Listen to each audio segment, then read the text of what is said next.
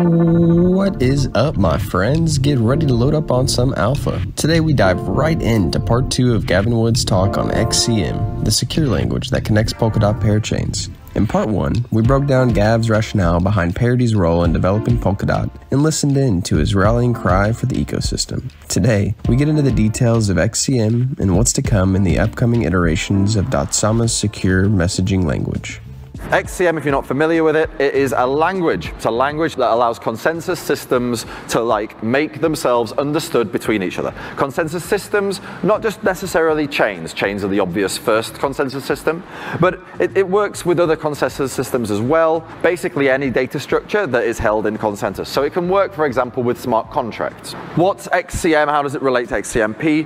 XCMP is a bit like the phone system, right? It's a means of getting a message message from one point to another. In fact, in XCMP's case, it's a, a means of getting a message between sibling parachains that happen to exist under the same relay chain. XCM is a message form. It's like a language. It's like English. English is spoken on a phone system. You can speak English whether you're on a phone system, whether you're face to face, whether you're on a video call. It doesn't really matter. It's still English.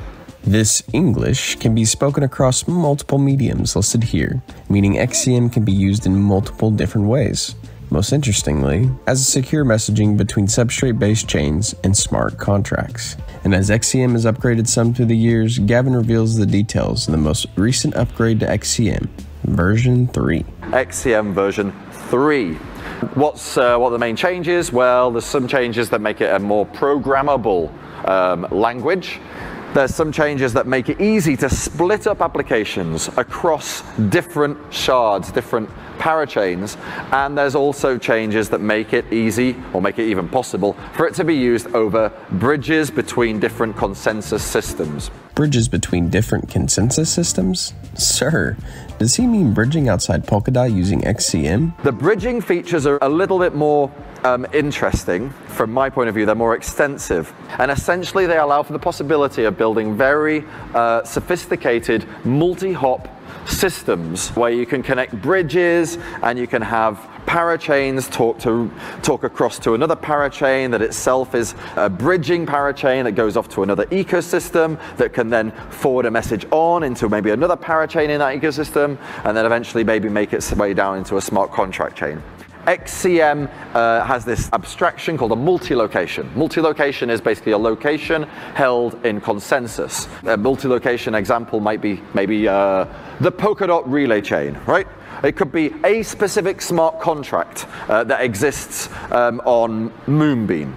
It may be a user account that exists on Statemint. These are all locations in held in consensus. And this becomes very difficult if the location is on a whole different consensus system. Like it's easier, we can imagine like, oh well, if I'm a parachain, then my parent location is the relay chain, and then if I want to sort of go to another parachain, then there's like a child location that is that parachain. We can start thinking of it in terms of like directory hierarchies. It becomes quite easy. But it's difficult if we have to jump over into another ecosystem. Um, there isn't really a way that we can have that be relative. It turns out that uh, one of the conceptual additions that we have now is the universal location. The universal location is a consensus location that is defined as being the parent of all locations that are themselves providing global consensus.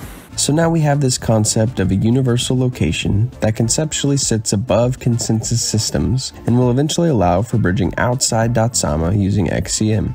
This basically gives consensus systems a point of reference to work from. Whew. The first and one of the most important things is the functional decomposition of the relay chain. What we want to do is make the relay chain something that actually does what it what it's named after. That it really just does manage these parachains and act as like a, a central point for make, making sure messages that go between them and securing the parachains. This means it really shouldn't be doing stuff like managing governance. It shouldn't be managing validator nominator relationships. It shouldn't be managing, you know, moving uh, tokens, between accounts. This is all not to do with the primary thing of securing parachains and making sure that they can pass messages between each other safely. So, what do we do? Well, we take the obvious approach and we say, let's make a parachain. Let's make a parachain for each of these different functions that we don't want sitting on the relay chain. That's what's the beauty of Polkadot that we can do this. Because at the moment, these different functions can assume that they're all on the same blockchain, it means that they can sort of use the different features. Sir, did you catch that? The vision of Polkadot for more than five years ago is finally coming together. With XCM v3, we'll be able to combine the functions of different parachains to form a robust end product. Next, he reveals a new component of the upcoming governance overhaul. The Polkadot Fellowship exists as a sort of on chain membership organization that helps oracleize the information regarding the safety and time criticality of on-chain upgrades. Essentially, it's like a uh, it's an expert oracle. Now, there's no real reason to have an expert oracle that you know is, is expert in the Polkadot protocol and have it have two different ones, one for Polkadot and one for Kusama, given that they both utilize the Polkadot protocol. It's like the expert set is going to be basically the same. So it would be cool if we could bridge this. Well, I mean, we want to bridge Polkadot Kusama. You know, this is already an ongoing effort, soon to be deployed. But wouldn't it be cool if we could use XCM to ensure that this Oracle functionality that exists wherever it exists, whether it's Polkadot or Kusama, can be oracleized onto the other network so we don't need to duplicate efforts. And uh, indeed, this is one of the things that XCM v3 is intended to solve. Another interesting one would be like maybe a, a Kusama parachain that holds dot on Statemint, able to actually make votes in a Polkadot referendum. This is the sort of interesting cross ecosystem functionality that bridged XCM can facilitate. This isn't just about having some tokens be able to be passed. Whew. Teasing cross ecosystem dApps and functions? Thank you, sir. And even Parity is thinking about XCM v4. But Gav then pivots to what XCM can't solve and what solutions are available. But he starts with the problem. A Phala user wants to move AUSD, which is native to Acala, to Moonbeam and execute a smart contract or other function on this chain. Some have asked if this can be done in one step, but it can't. It must take two. Listen in to understand why. Well, why don't we just do it in one step? Why doesn't uh, why doesn't Phala, on behalf of its user, just basically tell Acala, transfer the AUSD, send it on to Moon, let Moonbeam know, and then have Moonbeam execute this smart contract action directly. Is there not something that we can add to the XCM language or some extrinsic that we can add to a runtime, some special transaction or something that can do this in one step? And the answer is no. XCM cannot solve this. The reason XCM cannot solve this is it's not a language issue. The issue is with the trust relationship.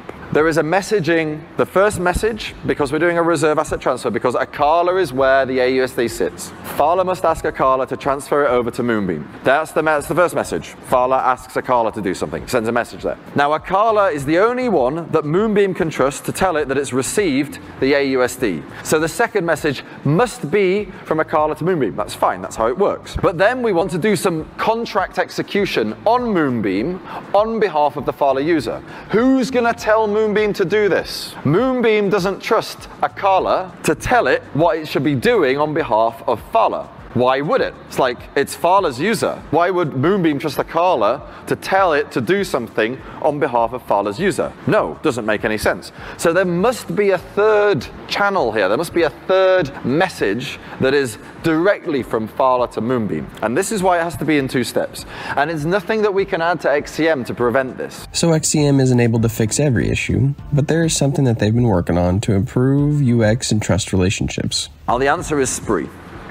So I've talked about Spree in the past in a, in a fairly circumspect fashion. I want to just reference it here today to point out that there are real ecosystem use cases that teams are finding they want to be solved that can be solved. And they can only be solved in this way. What Spree does is it allows trust-free remote logic execution. Basically what it means is in Polkadot, we can make sure that each of these parachains adheres 100% according to the logic that it sets for itself. We can make sure that no transactor can cheat the chain that it's being transacted on. We can make sure that even the chain itself cannot cheat its own governance or its own rules for upgrading. But what we can't do is make one chain be able to trust that another chain won't upgrade itself and somehow stop working in the same way. This is just fundamentally chains are sovereign entities. If they want to upgrade and, I don't know, eat everyone's money that happens to be sitting on the chain, they can. It wouldn't be a great look for the chain, but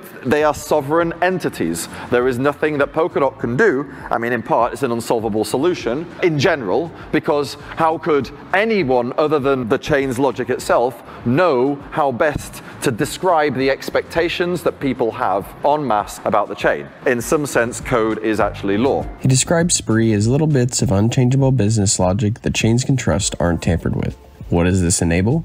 Let's go back to the Phala example from earlier. Phala, rather than sending directly to Acala, would actually send to this special, protected little bit of logic that sits next to Acala, but that Acala can't touch, and that guarantees certain expectations regarding what will happen with ongoing routing, making sure that, for example, if a part of this message was destined for Moonbeam with the authorization of the Phala user, it will be without any kind of tampering or changing be forwarded onto Moonbeam, and Moonbeam will be told that it does indeed come from Phala. And because it's the Moonbeam special module that is interpreting it, it knows the Acala special module could not have tampered with it because it knows that Acala has no control over the logic of this module. It's clear that Polkadot continues to strive towards the vision of less trust, more truth, with each new development, all in a decentralized manner. There's even improvements to the decentralization via Governance 2.0,